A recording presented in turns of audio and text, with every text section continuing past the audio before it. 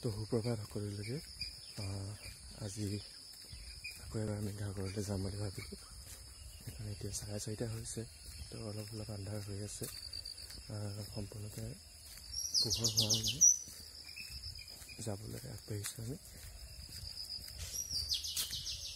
আপোনালোক দেখাই যাম চাই যাব মই গৈ আছোঁ। ৰাস্তাত কোনো নাই মানুহ এজনো নাই। নিজা নক'লোঁ ইয়াৰ কাৰণে ৰৈ ৰৈ মোৰ বহুত দেৰি হৈ গ'ল এতিয়া সি আহিছে। যাম আৰু এতিয়া। নাযায় হেৰি গম পালো এতিয়া যিদিনা নাযায় ফোন চোন।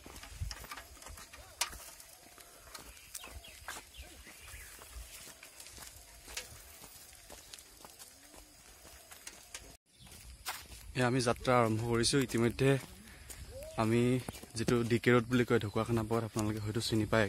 ঢকুৱাখানাৰ বাবে ঢকুৱাখানালৈ যাবৰ বাবে একেবাৰে সহজ এটা ৰাস্তা খালি দলং নথকাৰ কাৰণে অলপ দূৰ হয়।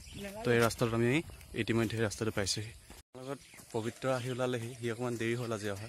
তো সেইকাৰণে আমি ৰৈ থাকিব লগা হ'ল। সেইটোৱে সেই কালপিতজন যাৰ কাৰণে আমি ইমান দেৰি কৰিব লগা হৈছে। তো বোলো। আমি গৈ থাকোঁ আগলৈ। আমি আহি আহি মহাজন পাইছোঁহি।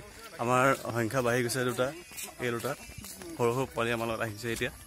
আজি কৃষ্ণই খোজকাঢ়িব পৰা নাই পেটটো বেছি ওলাই গৈছে দুটা। পবিত্ৰই পাৰিছে। কৃষ্ণ মানে পেটটো বেছি বাঢ়ি গৈছে। আৰু এটা পেটটো সেইটো আহি আছে পিছফালে। এটা এইটো আমি আহি আহি ঘাগৰৰ পাৰত উপস্থিত হ'লোঁ। কিন্তু দুখৰ বিষয়ে নদীখন যিহেতু এইকেইদিন খুব ৰ'দ দি আছিলে কাৰণে নদীখন যিহেতু শুকাই গৈছে। তো শুকাই যোৱাৰ কাৰণে কুঁৱলীটো আজি বৰ বেছিকৈ কুঁৱলী পৰা নাই ইয়াত। অলপ আঁতৰলৈ পৰিছে কিন্তু আগতে আমি এই যি যিডোখৰ জেগা ঠাইৰ পৰা আমি ভিডিঅ' বনাই আছোঁ আগতে এইডোখৰতে সম্পূৰ্ণ কুঁৱলীৰে ঢাক খাই থাকে। কিন্তু আজি কোনো ধৰণৰ ইয়াত কুঁৱলী দেখিবলৈ পোৱা নাই যে সেইকাৰণে মনটো বেয়াও লাগিছে ৰাতিপুৱাই আহি। তথাপিতো ধুনীয়া হাৱা বতাহ আগৰ দৰে মাৰি আছে ভাল লাগিছে থাকি। এইবোৰ মাটিবোৰ ফাটি ফাটি গৈছে নদীৰ পাৰবোৰ।